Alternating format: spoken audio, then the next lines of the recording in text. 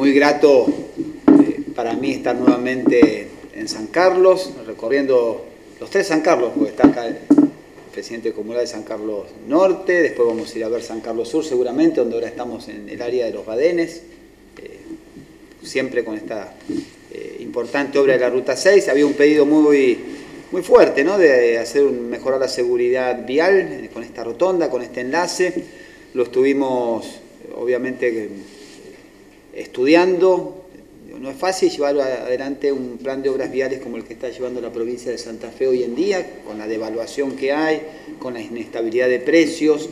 Nosotros tenemos, esta obra, por ejemplo, ya tiene un coeficiente de redeterminación de, un poquito más de dos, o sea, ya vale más del doble de, en el momento que la licitamos, y esto se nos repite en toda la provincia de Santa Fe.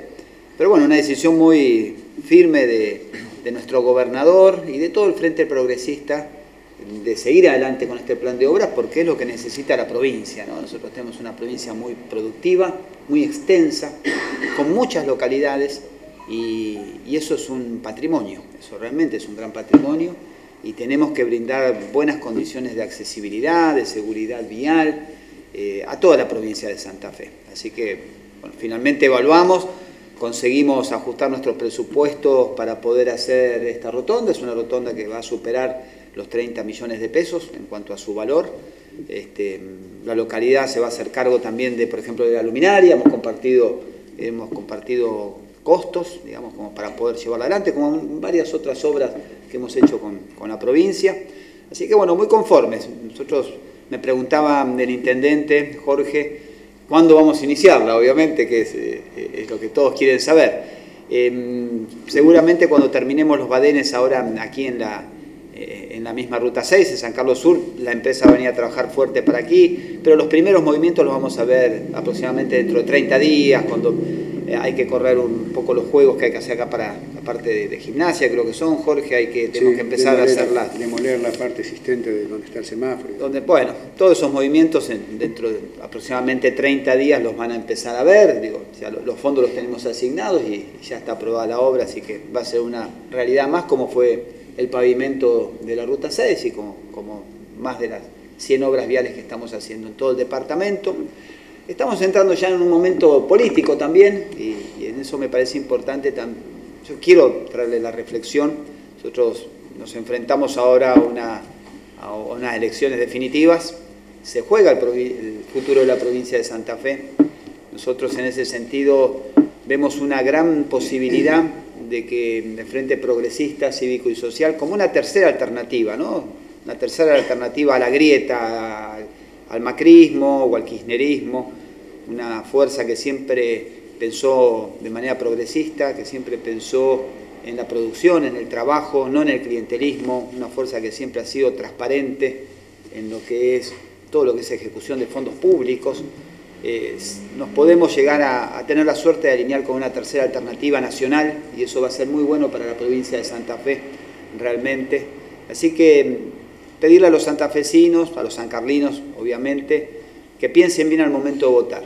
realmente no me imagino una provincia de Santa Fe gobernada por Omar Perotti, quien fue la persona que en su momento votó el aumento de las retenciones a la exportación, porque votó el aumento de las 125, sacarle más dinero a los productores para que después los tenga el gobierno nacional de manera totalmente discrecional, todos esos fondos. Imagínense, hoy se están yendo a a Ciudad Autónoma de Buenos Aires y a Provincia de Buenos Aires. En otro, en el gobierno anterior se iban a Santiago del Estero, Entre Ríos. Ustedes veían cómo se aplicaban los fondos realmente. Una persona que también eh, privatizó el Banco Provincia de Santa Fe, nuestra herramienta financiera. Hoy tenemos crisis en el norte, aquí tuvimos crisis hace dos años atrás, tremenda por los desastres hídricos, hoy lo tenemos en el norte provincial y la provincia no tiene una herramienta financiera para ayudar a la producción. Es más, tenemos nuestro candidato a gobernador, eh, Antonio Bonfatti, está promoviendo justamente la creación de una entidad de financiamiento en contraposición de la persona que la privatizó. Así que hay que pensar bien el voto, digo, no es, no es lo mismo, no, no, no, no son lo mismo. nosotros no queremos volver al pasado, creo que la provincia no se lo merece y, y creo que realmente la nación nos necesita. No tengo duda que cuando la República Argentina se parezca un poco a lo que es la provincia de Santa Fe en todo, en su gobierno, en sus instituciones, en sus localidades, en su producción. Realmente ese día podemos soñar en tener, en tener un gran país. Así que es un momento de decisiones importantes mm, a nivel provincial, a nivel departamental. no es lo mismo tener un Senado justamente que juegue con nosotros en el trabajo y que realmente nos apoye a un Senado de oposición. Nosotros, eh, la ley de financiamiento de obra pública estuvo parada un año en el Senado y no la aprobaron, y no la aprobaron, y no la aprobaron, y nosotros habíamos cumplido con absolutamente todas las obras que nos habíamos comprometido.